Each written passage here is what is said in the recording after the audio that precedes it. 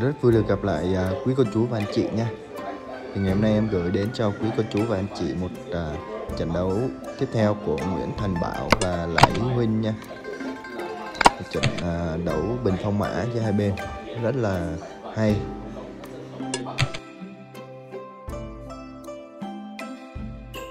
Rồi sau đây là diễn biến chính của trận đấu à, Chúc mọi người có một à, buổi xem video thật là vui vẻ và học được nhiều nước cờ rất là tinh tế của hai đối thủ đáng ngờ này Xin chân thành cảm ơn.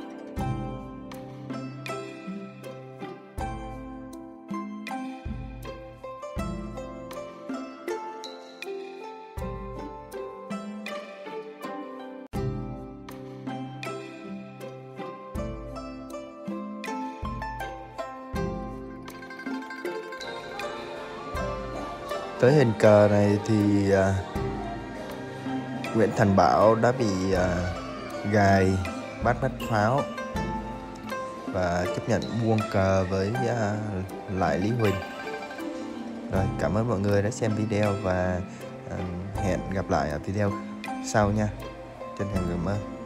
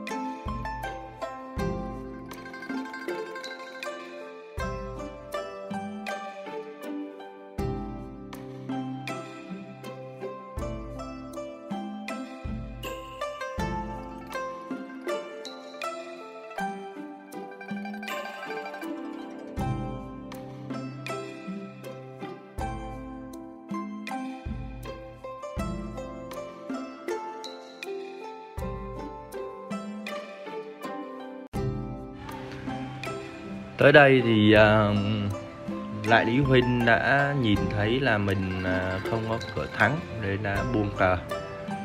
Trận này nguyễn thành bảo đã phục thù được lại lý huynh nha